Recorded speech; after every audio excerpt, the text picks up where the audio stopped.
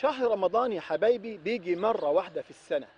لكن تقدر حضرتك تعمل شهر رمضان ده بثواب 100 شهر في السنة الواحدة. لما تطعم حضرتك أو تفطر 100 صايم معاك. ربنا عز وجل علمنا ده إنك لما بتفطر صايم بتاخد مثل أجره من غير أن ينقص من أجره شيء. مدوا ايديكم بالخير يا إخواننا الإفطار الصائمين علشان نقول لكل محتاج والكل فقير. إحنا معاك.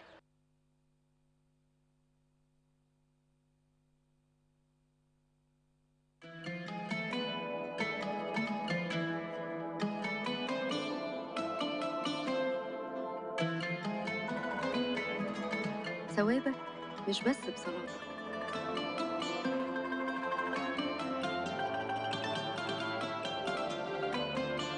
ثوابكم مش بس بصيامكم إفطار صائم بتكمل صيامك. إفطار صائم فرصة ما تضيعهاش إفطار صائم بتفرح ناس كتير. رمضان شهر الخير. بمبلغ بسيط تقدر تساعد أسرة محتاجة. مديلهم إيدك بالخير. رمضان فرصة ما تتعوضش.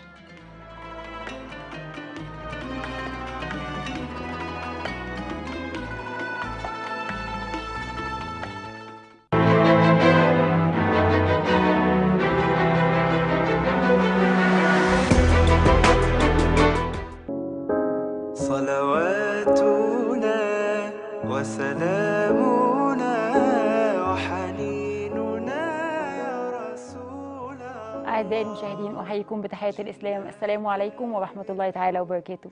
أهلا بيكم في حلقة جديدة من برنامجكم أميرة الخير. أنا هبتدي بالصلاة على سيدنا النبي صلى الله عليه وسلم. صلى الله عليه وسلم. أه، الأيام اللي فاتت قربنا من سيدنا النبي كتير وتقربنا من ربنا كتير قوي.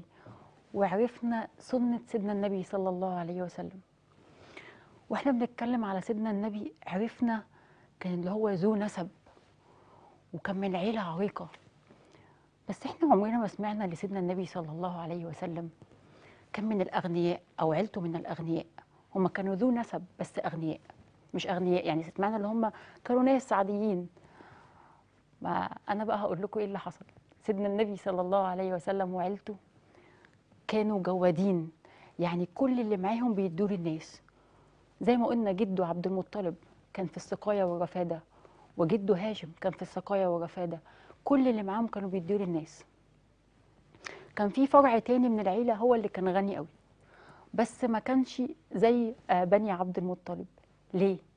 لأن بني عبد المطلب كانت الناس كلها بتحبها ويدوا للناس بسخاء. كانوا دايما في موضوع طعام الطعام والسقاية الماء كانوا جوادين قوي.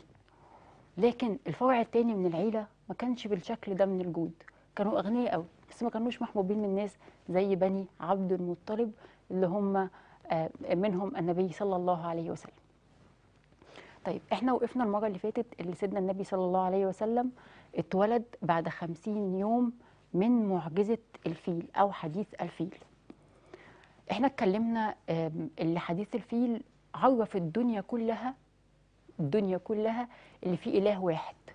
كل الناس اللي شهدوا على المعجزة اللي هي الطير الأبابيل اللي, اللي فيه إله واحد بيحمي البيت وإن النبي صلى الله عليه وسلم كان بيبقى في تمهيد بقى اللي فيه سيدنا النبي صلى الله عليه وسلم. إزاي؟ كانت مكة ربنا عز وجل قال عليها هي أم القرى. في القرآن أم القرى. ليه أم القرى؟ هي كانت مركز التجارة ما بين الفرس والروم اللي هم أكبر حضارتين في الوقت ده. فكان كل الناس بتتناقل أخبار مكة في, في وقت التجارة رايح جاي. طيب ده ده فايدته إيه للإسلام؟ لا ما ربنا عز وجل بيمهد الطريق لسيدنا النبي صلى الله عليه وسلم بيمهد الكون كله ليه.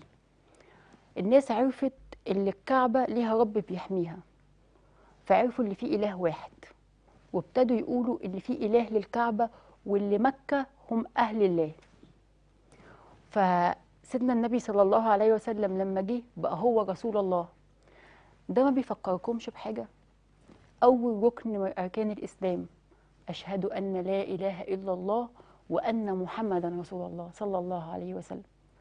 فربنا مهد للناس أن لا إله إلا الله للبيت رب يحميه ومهد لهم اللي فيه نبي اسمه محمد صلى الله عليه وسلم.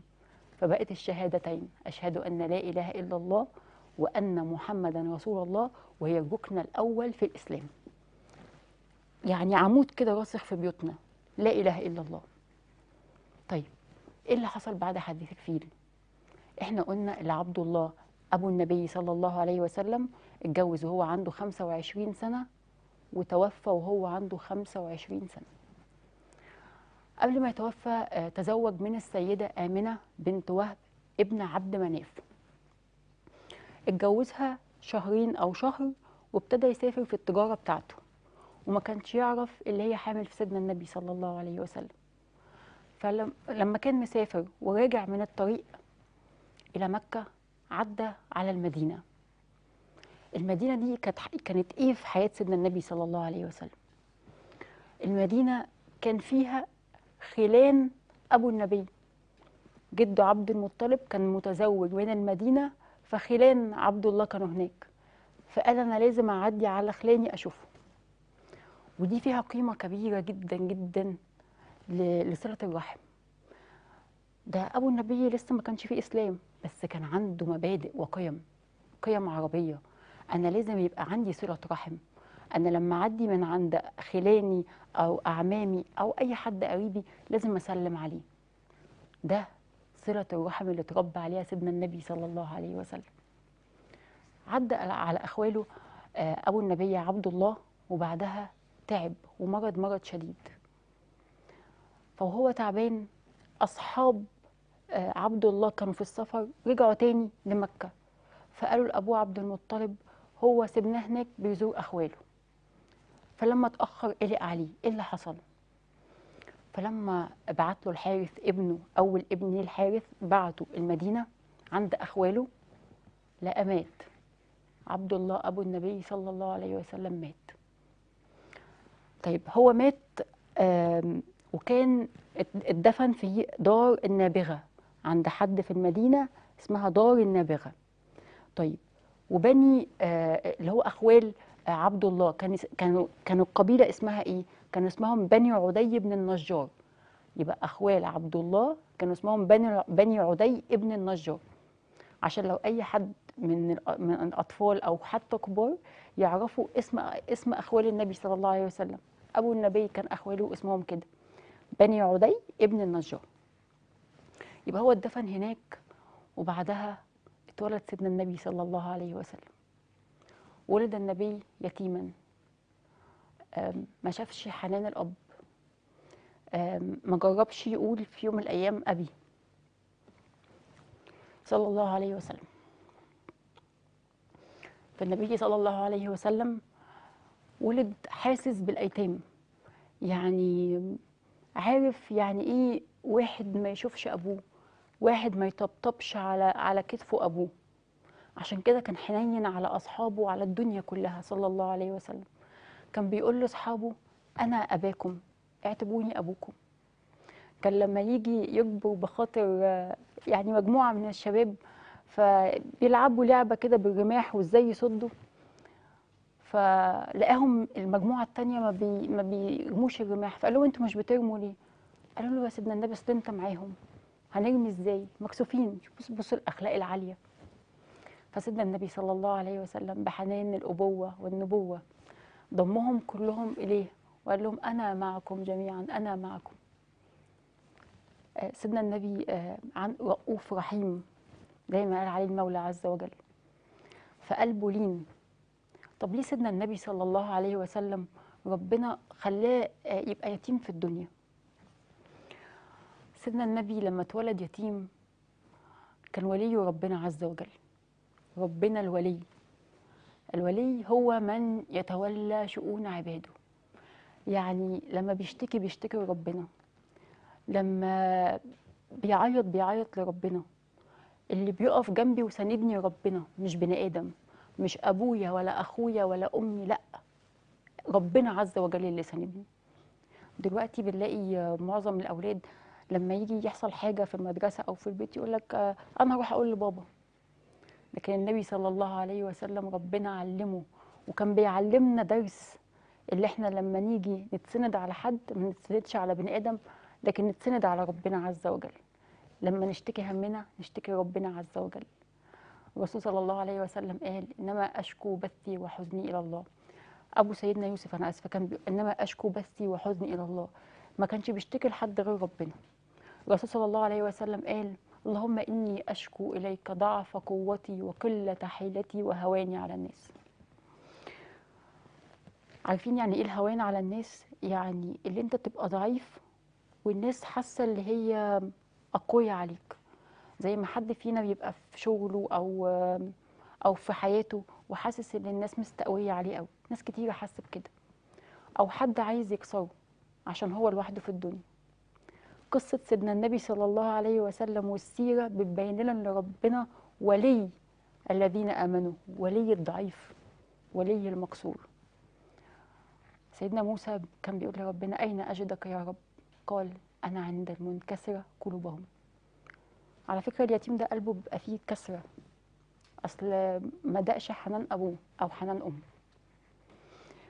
وده بيخليني أروح معاكم لسيره سيدنا النبي صلى الله عليه وسلم.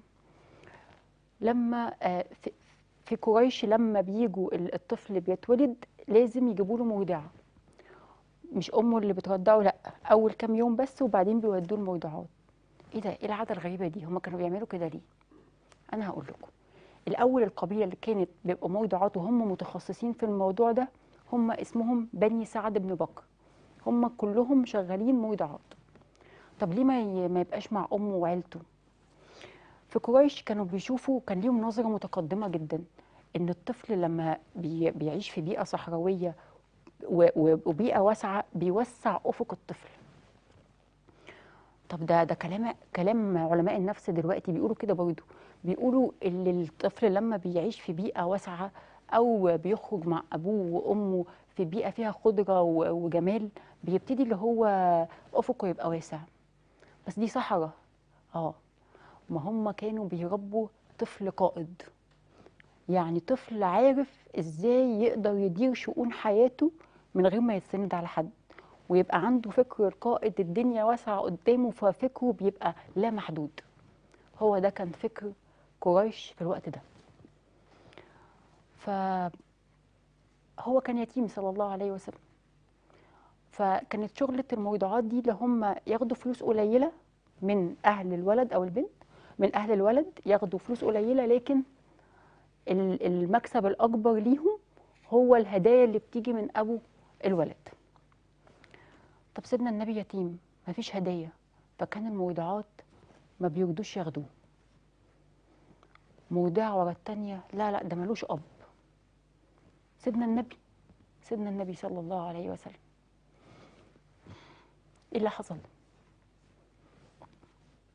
سيدنا النبي صلى الله عليه وسلم جت آه، مرضعة منهم كانت هتاخده بعد كده قالت لا. جت آه، تروح مع بقية المرضعات لقت لكل واحدة واخدة رضيع وهو وهي الوحيدة اللي مش واخدة رضيع.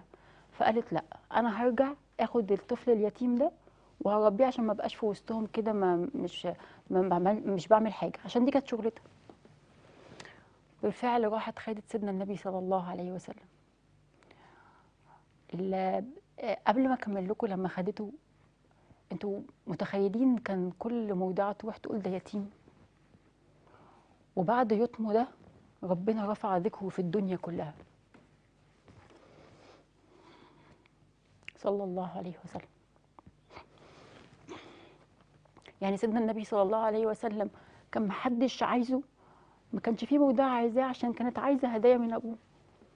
طيب وهو اللي موجودين في الدنيا دلوقتي اللي ملهمش حد في الدنيا ليهم ربنا عز وجل. محدش لو الدنيا قفلت بيك قوي افتكر سيدنا النبي صلى الله عليه وسلم. كانت كل واحدة مش عاوزاه وبعدين ربنا رفع ذكره في الدنيا كلها. وعلى فكرة القصة دي مع سيدنا يوسف وشروه بثمن بخ- بخس دراهم معدودة.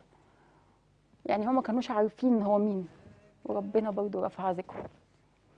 فاللي حاسس اللي هو هاجن على الناس أو ما فيش حد سنده في الدنيا أو ملوش ظهر اعرف اللي ظهرك وسندك ربنا عز وجل. آه، خدته السيدة حليمة السعيدية وهي كانت موضعة سيدنا النبي صلى الله عليه وسلم. أخدته لقبيلتها بني سعد بن بكر إيه اللي حصل؟ أول ما جه سيدنا النبي بقت الدنيا كلها بركة وخير إيه اللي حصل؟ عايزة أقول لكم اللي كانت الدنيا آه، ما كانش فيه مطر في الوقت ده والدنيا كانت جرداء قوي ابتدت الدنيا يبقى فيها خضار ويبقى البعير بتاعهم بيمشي وياكل وثدي البعير يبقى فيه لبن كتير قوي بقيت القبيلة تمشي البعير بتاعتهم ورا البعير بتاعت السيدة حليمة عشان عارفين اللي فيها بركة. فزوجها قال لها والله إننا أخذنا نسمة مباركة نسمة مباركة صلى الله عليه وسلم. عشان كده يعني أي حد حاسس إن ده ما فيش أمل في الدنيا وإن أنا ما- ماليش لازمة وإن أنا ضعيف وسط الناس أو هين على الناس لو أنت هين على الناس أنت عزيز عند ربنا قوي. ولو أنت ضعيف وسط الناس دلوقتي ربنا هيرفعك. طول ما أنت مع ربنا ربنا مش هيخذلك أبدا.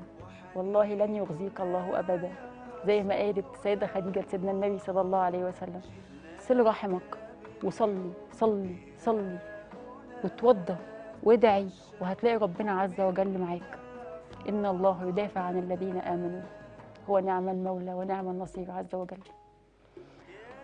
هطلع معاكم لفقرة أهل الخير ونرجع تاني مع بعض إن شاء الله مع فقرة آه، البر والتقوى وإن شاء الله يبقى كلها بر وتقوى.